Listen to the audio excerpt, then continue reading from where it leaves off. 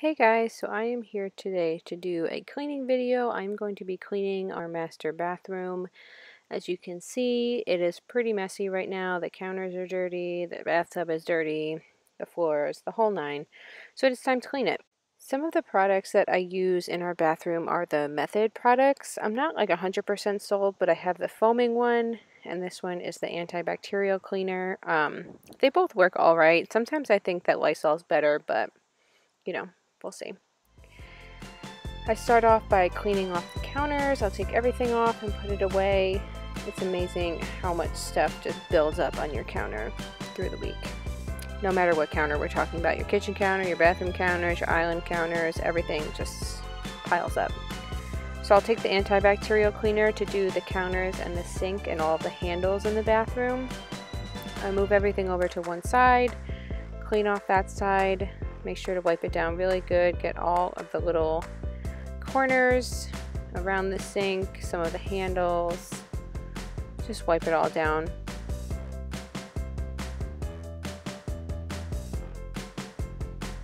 As I put things away back onto their side, I wipe them off, all the dust and stuff.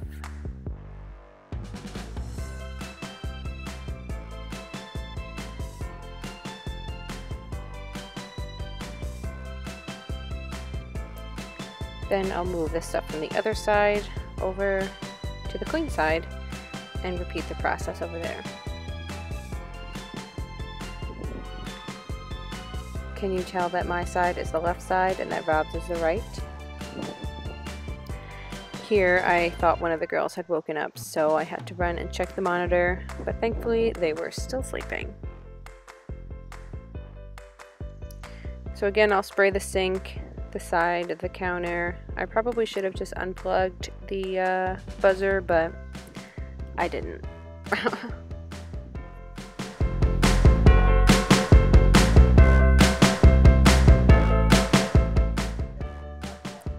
so once everything is all cleaned off, I'll put everything back again, wipe it down, wipe off the handles again, and around the sink. I'll usually wait to clean the inside of the sink until I'm done. I like to let the cleaner sit in there for a while. Now, my least favorite part, and I'm sure everybody's least favorite part, is the toilet.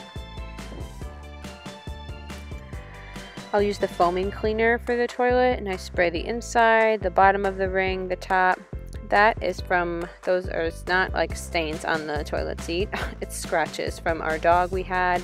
We had to put him down a couple months ago, but he always loved to drink from the toilet, so his nail scraped it up. When I clean the toilet, I'll start from the top and work my way down because I feel like if you start on the inside, you're just spreading the germs from the toilet around.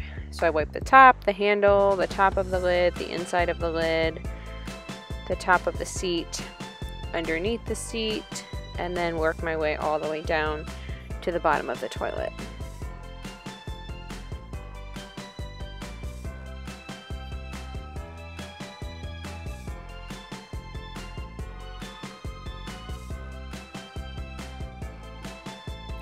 Got to make sure you get all the way around the bottom of the toilet. So gross. I hate toilets. Then with the cleaner that's already in the toilet, I make sure that I brush it out really good, make it nice and like sudsy since it is a foaming cleaner. It does get pretty bubbly. So I'll just scrub that around for a while. And I'll use the toilet paper to wipe off any of the stuff that, you know, bumped up while I was cleaning, flush the toilet, and then let the rest of the cleaner sit. We always seem to have extra toilet paper hanging out on the side of the toilet, so I'll put that away. Now it's time to clean the shower. I start by taking everything out of the shower. We have lots of stuff in there. I'll use the foaming cleaner again.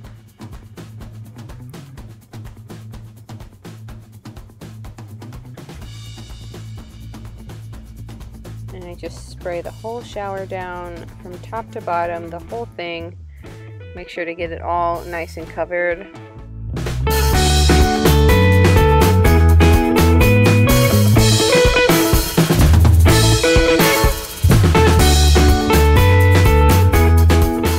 I usually turn the water on as hot as it'll go as I clean and I plug the drain so that way the cleaner builds up on the bottom and I just feel like it helps get the bottom of the tub a little bit cleaner.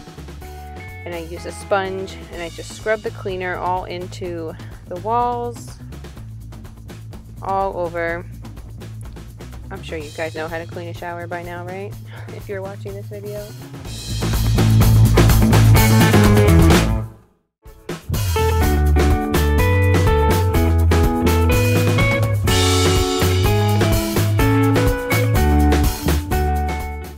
That I've scrubbed the whole shower, I'm going to work on the bottom and I let the drain down here so the water starts to go down. And we used to have a spraying shower head like the detachable kind, but we for some reason got a different one and now it does make it difficult when I clean the shower because I can't detach the shower head to spray it off. so I kind of just rinse off a sponge and splash it up. Oops. Got a little blurry there for a second. And I just rinse it off with the water from the bottom.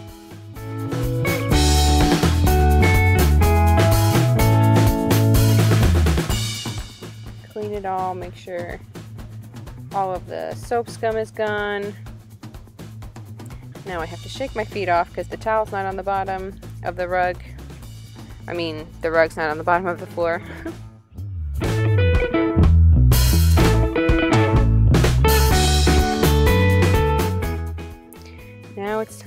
to clean the floor. I'm going to use the foaming cleaner again and spray the floor down.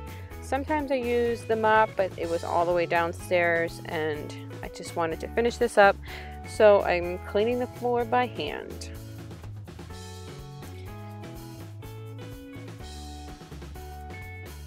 So I just keep spraying and wiping it up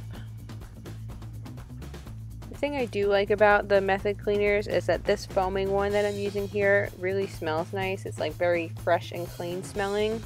But the antibacterial one, that one is like a spearmint scent.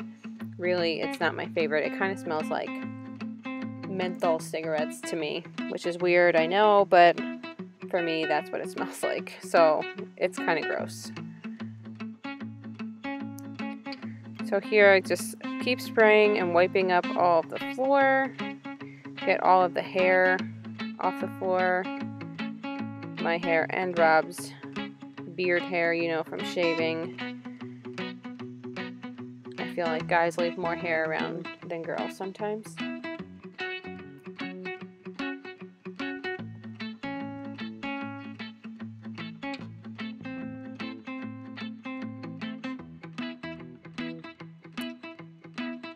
You have any other cleaners that you like for your bathroom, well, let me know because I'm always on the hunt for something better to clean with. Now just spread the mat back out on the floor, pull the shower curtain, put the garbage back where it belongs, scale. There you go. Okay, so here you can see the bathroom is all clean. It's just a quick once over. Everything is back where it belongs and ready for use. That is pretty much how I clean, whoa, my bathroom. I hope you guys have a wonderful day and that you enjoyed this video. Please subscribe if you like it, and I'll see you guys next time. Bye!